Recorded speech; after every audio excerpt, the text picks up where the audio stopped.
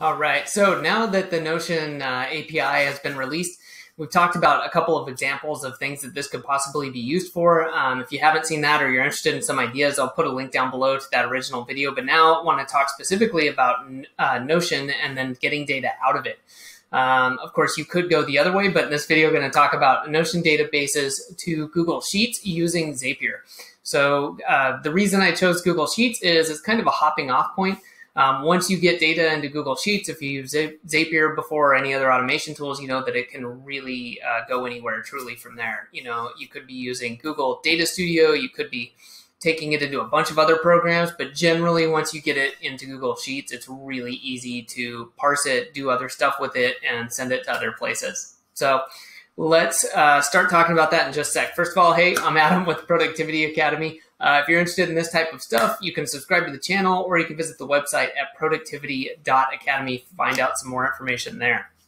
Now, let's talk about this. so, what I did uh, previously was set up a test database inside of my Notion account. And um, this is, uh, if you're, I'm going to kind of go through step by step because I realize, you know, some of you may be um, already advanced using Notion a ton. If you're just seeing this though and you're not sure, want to make sure you understand how this is done. So, this is just a page that I created. And then down here, all I did was create a, an inline table, just like that. Gave it a name, added a few things to it, created some of the properties. Um, there's lots of great tutorials out there on how to use Notion, so I'm not going to cover all of that right now. And just put some stuff in so we can see how we can export uh, this stuff around and really play with it. So one of the things though that you have to do when you go into Zapier, let's say you haven't yet connected Notion to it, that's easy. Uh, it's like any other Zap. You come in here, you choose the app, and if you haven't um, connected Notion before, you get a pop up window like you always do in Zapier saying, hey, you need to connect this, authorize it. And it gives you some details. And it's a little bit longer uh, than usual. What you do is you go into uh, Notion, and then you'll need to go into settings and members, and you're basically creating an integration. Okay, so they walk you through it. It's not that complex. You go in, you need to get the key uh, for it. You're basically creating an integration. I name mine Zapier. You get the key for that. You put that in the little pop up box, hit enter, you're good to go. But there is one more step that you need to do, and that is you need to actually share this with the um, Zapier. So um, let me show you what I'm talking about here. When you come down here to sharing, normally it would just say whatever you the standard sharing options are, but you need to go in and then uh, share it with the integration. I named mine Zapier. You could name yours anything else. So it isn't going to automatically say Zapier. You have to do that yourself. Um, and then give it edit in uh, abilities. Otherwise, when you go to set up your Zap at first, you won't see anything. It'll just say there's nothing here, there's nothing to see. Once you then share it, you uh, take care of that. That's that final piece. Then when you come in here, you can now see the database. All right. So just a reminder of that. If you're wondering, like you're like, man, I connected it, I'm just not seeing it. That's probably what's going on. So right now, uh, this is the choice that you get. So with the Notion Beta API, new database item. So it's going to trigger when a new item is connected. So that's what we've done here. Um, I've got my account set up and uh, the trigger is triggering on the test database. Obviously, you probably want to give it a better name than that if you're using this for something else uh, so that you can tell what it is. Uh, but that's all you really need to do. And then, uh, as always, you can, excuse me, test the trigger um, highly suggest doing this. Then the next thing you want to do is have a Google Sheet.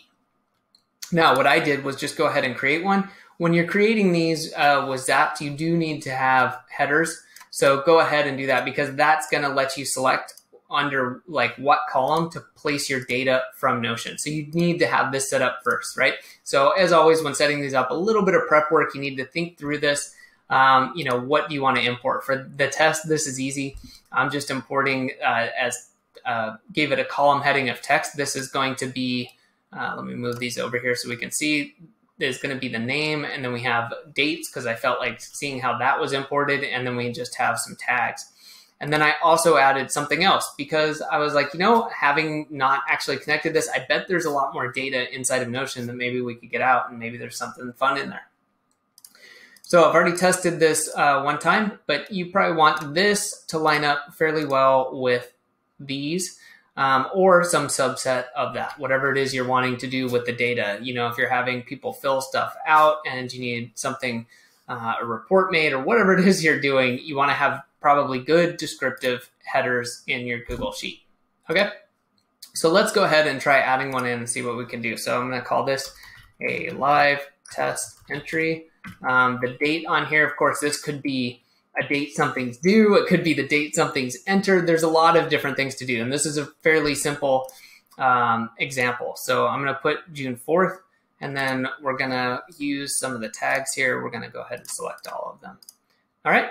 So now what that should do is go ahead and trigger into uh, or trigger Zapier and go in. I'm sure it's going to have some sort of a delay. So I'll put this on pause and let you know how long this ends up taking.